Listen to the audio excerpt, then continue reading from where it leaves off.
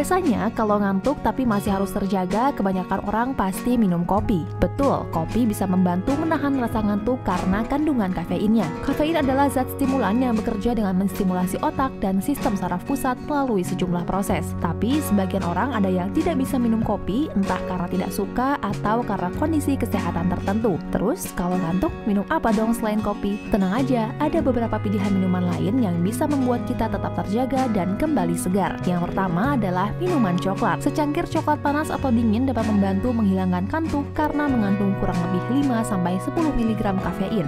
Jumlah tersebut lebih sedikit dari kopi, tapi minuman coklat tetap ampuh mengusir rasa kantuk.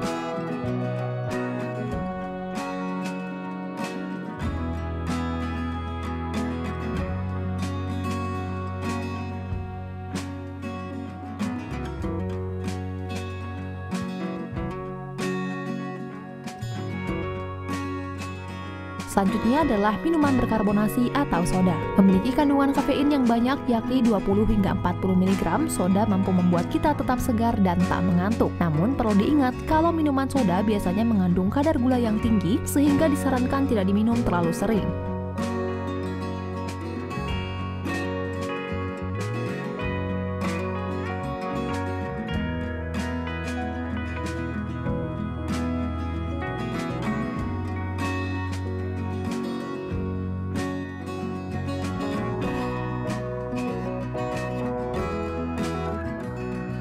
Minuman dengan kandungan kafein yang bisa menghilangkan ngantuk lainnya adalah teh. Satu cangkir teh pekat mengandung 40 hingga 120 mg kafein, sedangkan teh hijau mengandung 30 hingga 50 mg kafein.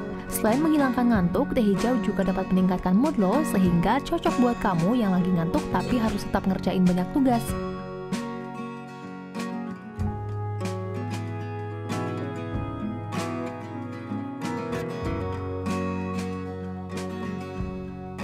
Terakhir, minuman yang dapat menghilangkan ngantuk adalah minuman asam.